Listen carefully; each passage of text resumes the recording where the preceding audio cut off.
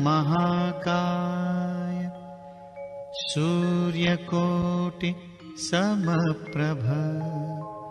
निर्विघ्नं कुरु मे देव। सर्वकार्येषु सर्वदा।